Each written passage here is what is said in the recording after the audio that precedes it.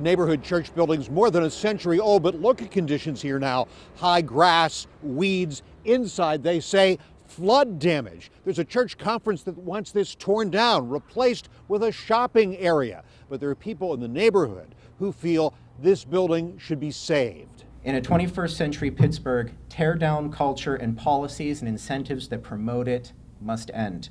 The nearly 110 year old Albright United Methodist Church would be demolished in a sale by the denomination's Western Pennsylvania Conference. The would be developer would tear it down for a commercial development that would include a drive through Starbucks. The more we take away those buildings, the more we eliminate them, we eliminate the history and the story of actually what is great about the city.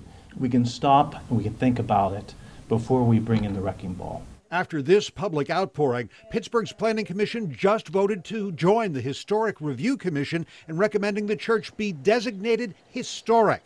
That could keep it from being torn down, but it doesn't force anyone to fix it up. I think it's very likely that my client will say we need to assert our private property rights and return to court. The water and electricity has been off, the steps are in disrepair, the grass is knee high.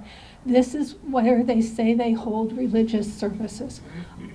All I can say is I'm very upset about this. The tremendous community support for not only seeing Albright remain in the community as a historic building, but the potential opportunity for how the building can serve all members of the community going forward. Pittsburgh City Council would have the final say and vote on any historic designation.